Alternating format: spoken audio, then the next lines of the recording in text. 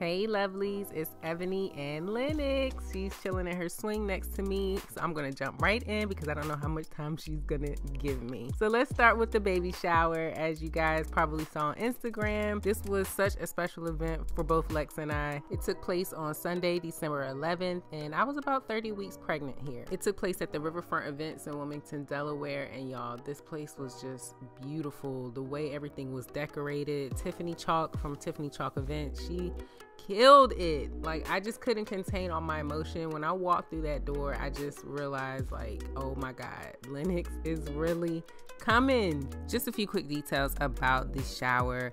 Uh, we had about 60 to 70 people there. And oh my gosh, y'all, the food was so good. We had rotisserie chicken, barbecue ribs, some flank steak, mashed potatoes, corn on the cob, salad, and our package even included two desserts, apple cobbler and strawberry shortcake. So we didn't have to go too heavy on bringing our own dessert. But we did have these little personalized cookies. Look at them, they're so adorable. I'm glad we were able to get a few pictures of those cookies before they were gone. Alex's mom hosted the games that we played, and we didn't do a whole lot of like interactive games because that's just not what I wanted. I wanted a lot of the interactions to be between the guests and with Alex and myself. I'm just not game heavy when it comes to showers, but we did have some really, really nice prizes for everyone who played.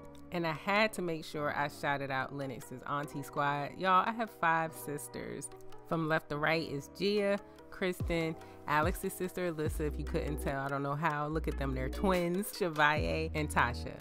Let me know in the comments if you have a big auntie squad like Lennox.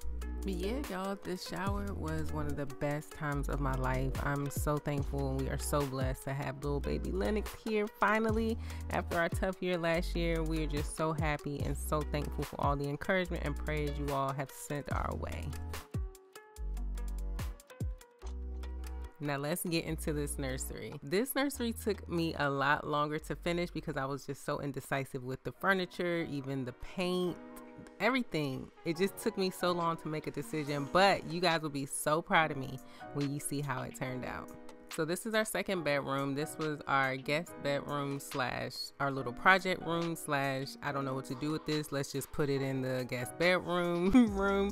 But now it's Lennox's room. So let's take a look.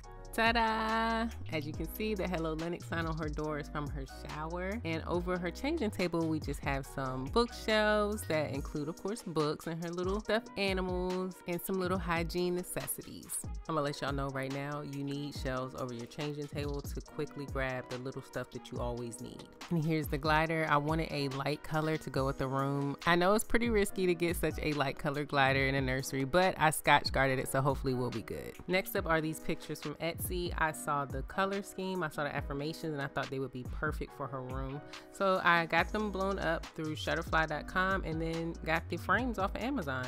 Now this hands down has to be my favorite part about Lennox's room and that's this neon sign. It was supposed to be at her baby shower, but it got held up in shipping. So you guys finally get to see it, and I absolutely love this thing. She'll have it for years to come. She better have it for years to come. And I know people are gonna ask me where did I get it from. My uh, party planner actually got it made for me, but there are plenty of neon sign websites online, so I'm sure you can't go wrong. Too wrong at least. And I know I just said that the neon sign is my favorite thing, but I feel like this wallpaper there might it might be a tie between those two because I love this wallpaper as well. We got it from wallmirror.com. If you use them, get the self-adhesive wallpaper. Just trust me, pay the extra money. Do not try and do it the old school way. Get the self-adhesive. It's so much better. I made that mistake so you don't have to. Next up is her crib.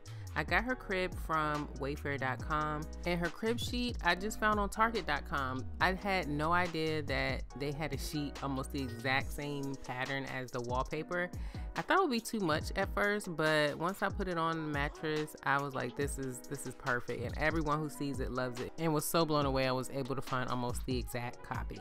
Next up is the giant teddy bear from the baby shower. I did not want to keep this thing. I thought it was just too big, no place to put it, but Lex really wanted to keep it. He is convinced she's gonna love it when she's older. And honestly, I think she will love it when she's older as well. So we just put it in that little corner. As you can see, there's not much room to get in between the crib and the bed. So it's actually the perfect place to put the bear so it's kind of out of the way and not taking up any valuable space.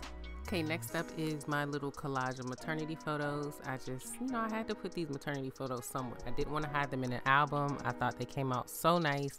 So, of course, I wanted to hang them in her nursery. And we use mixtiles.com to get them blown up and framed. All I had to do was stick them on the wall. Next up is a twin size day bed. We wanted to keep the guest room space in this house in some way because we only have two formal bedrooms in the home. So this is a good compromise and it comes in handy when myself or Alex want to give the other one a break. For example, he had to get up really early this morning, so it was beneficial for him that me and Lennox sleep in this room. And it also came in handy because the changing table is right there and we could be as loud as we want to be without waking him Before I forget, the color on the wall is Polo Tan by Sherwin Williams.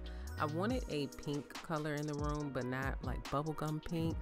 I just wanted something a little bit creamy, a little bit pink still, and I thought this came out really, really cute. You would think finding that sort of a color would be kind of easy, but no, everything started to look bubblegum pink to me after a while, and that's part of the reason why this nursery took so long. And in her closet, we have some of her clothes, of course, and a bookcase. For her shower, we asked that everyone bring a book instead of a card with their gift, and she ended up getting a lot of cute books. So we decided to put some of those books on the wall, and as you can see, this nursery is just, oh my God. I think this is the best thing that I've ever done. I love it. I feel like she loves it, Lex loves it, everyone who comes by loves it. It's just a perfect little nursery.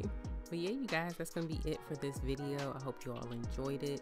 I did my best to link everything I could in the description box below. But in the meantime, go ahead and like this video, share this video, subscribe to my channel if you haven't already done so. And as always, thanks for watching.